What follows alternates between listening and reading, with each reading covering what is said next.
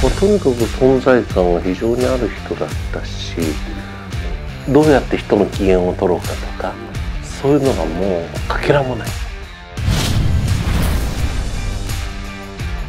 菅さんという政治家はねあの珍しく二面性のある政治家だと思うんですよ。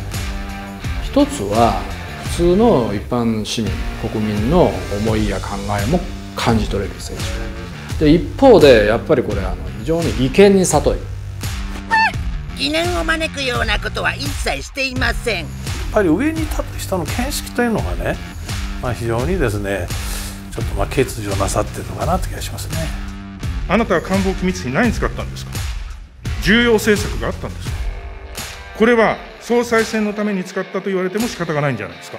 パンケーキだけで4020万円。個別具体的な人に関するお尋ねについてはお答えを一切控えさせていただいているところでありますとくとお納めください。菅さんを支えているのはあのやはり世論の風を見る力だと思います。それを象徴するのは菅さんをねどういう政治家かというと一言で言うと値下げの政治家なんですね。実際ねその官僚たちに話聞くと菅さんのことはバカにしてるんですよ。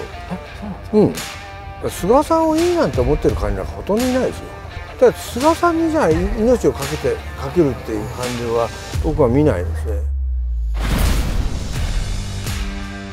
自分で答弁できない総理が国民に知を解くんじゃないよ。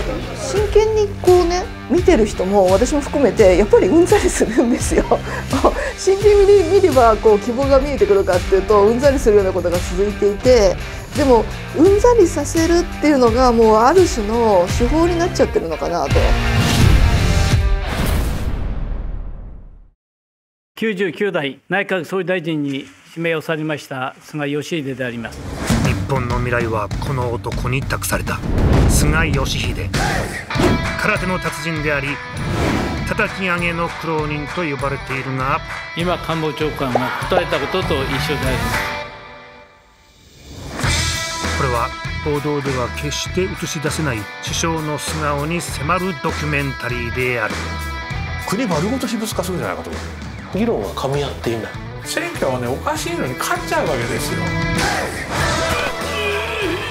シニカルな視点で日本を切り込む。彼らはすぐ忘れてくれるから。官僚たちに話聞くと菅さんのことはバカにしてるんですよ。はいは頭から腐る